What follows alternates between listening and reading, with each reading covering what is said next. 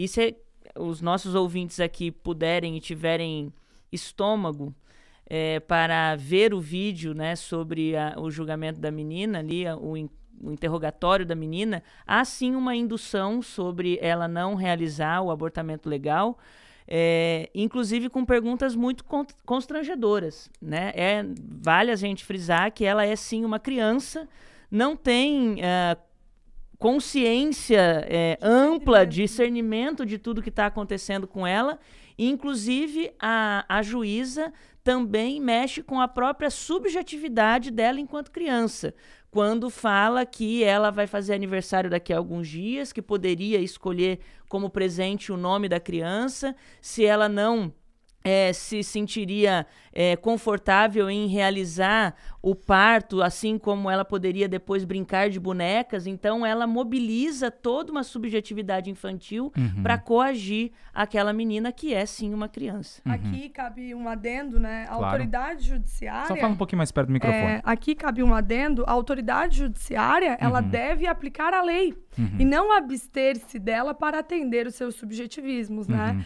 É, há sim conceitos vagos na, numa norma, mas quando há esses conceitos vagos, nós buscamos em leis extravagantes, uhum. né? É, para, é, como eu posso dizer, para substanciar a sua decisão, mas uhum. sempre pautada nos ditames legais. É... A senhora pessoalmente é contra ou a favor do aborto? Eu é como eu inicialmente a minha fala, uhum. ela foi bem pontual em dizer que há excepcionalidades, uhum. entre as quais a legítima defesa, é, o, a pena de morte em tempo de guerra, o aborto humanitário, o aborto terapêutico, inclusive aqui o aborto terapêutico só para contextualizá-lo, é aquele em que há uma uma a vida da gestante e a vida do bebê colidem. Uhum. Então há dois bens jurídicos colidindo. Uhum. Mas que nessa colisão a gente utiliza-se da excludente de ilicitude da, do estado de necessidade. Então, uhum. entre aquela gestante e o bebê, o Código Penal diz que pode abortar ter, é, terapeuticamente. Uhum. Entende? É, vou poder retirar aquela criança para não ceifar a vida daquela gestante. Então, nessas quatro oportunidades, né, nessas quatro hipóteses, eu sou a favor do aborto e, e ser contra ele seria ser contra o, a lei ordinária, o Código Penal. Nas hipóteses em que a senhora é contra, o que que, o que, que a senhora é, como é que a senhora direito? O direito à vida, ele é uhum. é inviolável, né? Uhum. Mas é, há sim também exceções, o direito tem muito disso. Uhum. É, há exceções, por isso que não é um direito absoluto. Sim, né? sim. Tem direito que é absoluto, tá? Eu uhum. não vou para não, para não fugir, né? Mas, claro, claro, tranquilo. É, tem direito sim que é absoluto, mas o direito à vida não é absoluto. Justamente por isso que relativamos, mitigamos nessas hipóteses. Legítima defesa, é, é, pena de morte em tempo de guerra, aborto humanitário e aborto terapêutico. Uhum. Doutrinamente, temos o aborto de anencéfalos, né? Aquele bebê que não conseguiu formalizar a sua psique, a, a, a neurociência.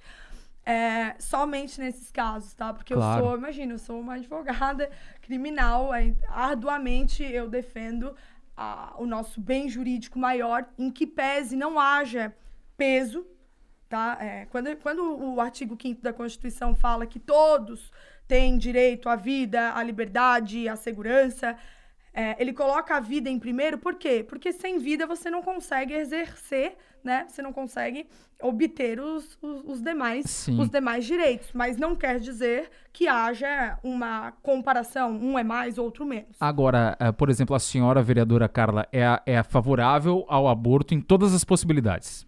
Sou favorável ao aborto em qualquer situação. Uhum. É, inclusive, pegando um gancho da doutora Bruna, em que se refere a esse caso da menina sobre é, ninguém pode opinar melhor que ela, senão um representante legal, que é a própria mãe, eu diria que ninguém pode opinar sobre melhor sobre a vida das mulheres, senão as próprias mulheres na sua autonomia de decidir quando e como quer abortar. E não se trata aqui da gente debater ser ou não a favor ao aborto, porque o aborto é uma realidade que já existe. A gente não está falando de hipóteses ou de situações em abstrato. O uhum. aborto existe, a gente queira ou não, existe dentro das, é, da legalidade, dentro dessas hipóteses, quando o judiciário permite uhum. e as uhum. institu instituições realizam, mas também existe em grande escala na própria clandestinidade.